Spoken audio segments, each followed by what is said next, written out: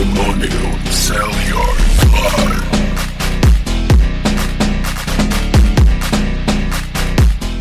Was geht FCL Gang? Ich bin's wieder, euer Dave und ich darf euch heute wieder herzlich begrüßen zu einem weiteren MMA-Kampf auf unserem Kanal zwischen Roman und Abdul. Ja, wie ihr seht, heute mal ein neues Format, Cage auf dem Rasen, mal eine Hybridveranstaltung. Ich hoffe, ihr freut euch genauso darauf wie ich. Hier seht ihr die Daten beider Kämpfer. Roman etwas jünger, beide gleich schwer. Roman schon einen Kampf bei uns bestritten, diesen leider verloren. Abdul kämpft das erste Mal bei uns. Und die erste Runde geht auch gleich los. Schreibt auf jeden Fall gerne eure Meinung zu dem neuen Format in die Kommentare. Und damit geht auch die erste Runde hier direkt los. Touch Gloves. Und schöner Low Kick hier von Roman direkt zu Beginn.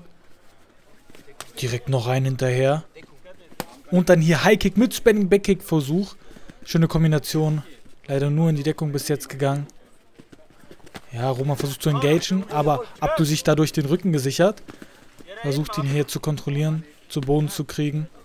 Roman versucht ihn hier zu werfen. Das ging aber in den Cage. Abdul versucht da weiter im Rücken zu bleiben.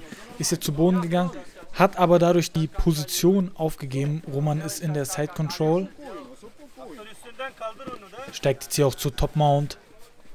Abdul klammert.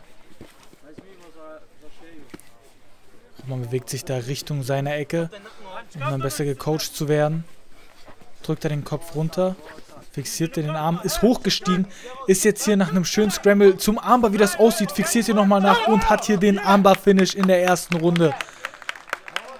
Sehr, sehr gut gemacht. Wir gucken uns das gleich in den Highlights nochmal im Breakdown an, aber zu Beginn hier schöner Low-Kick von Roman, direkt noch einer hinterher.